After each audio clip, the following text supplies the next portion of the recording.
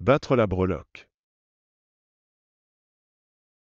L'expression battre la breloque signifie perdre son temps de manière inutile, ne rien faire de productif ou passer son temps à des activités insignifiantes. Les exemples d'utilisation de cette expression pourraient être Arrête de battre la breloque et mets-toi au travail. Dans ce cas, cette expression est utilisée pour exhorter quelqu'un à arrêter de perdre son temps et à se concentrer sur une tâche plus importante.